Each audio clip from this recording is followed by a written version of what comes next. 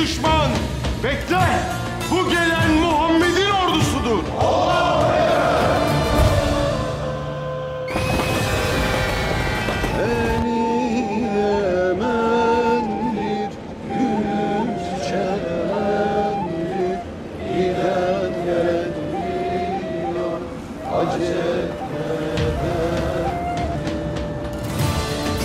Türk askeri ne kadar ihanetin, kahpeliğin ve karanlığın içinde olursa olsun onurundan ve vatan sevdasından kat'a vazgeçmez.